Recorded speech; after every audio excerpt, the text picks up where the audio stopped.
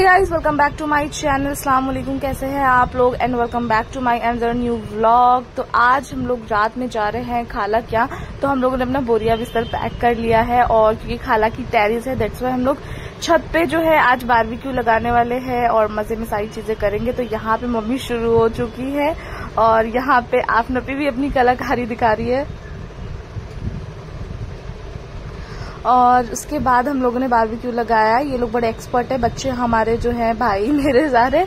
और फैज ने मेरी बड़ी हेल्प करी थी। मतलब हम लोगों ने जुगाड़ बिठाया कूलर को सामने रख दिया था और उससे कौन इतनी देर फ़ैन करता तो भाई मज़ेदार। और इस बार आज हम लोग बिहारी कबाब बना रहे थे। तो मज़े में हम लोगों ने उसको बनाया और उसके बाद मुझे ज़्यादा पसंद नहीं है बट फिर भी टेस्ट करने में क्या जाता है। उसके बाद खाला ने बनाए थे शामी कबाब। मज़ेदार शामी कबाब थे, सच में बहुत ही ज़बरदस्त। और हम लोगों ने इंजॉय किया रात में ये डिनर साथ में बैठ के खाया। और आप लोग बताना, आप लोगों ने अपनी ईद में क्या किया?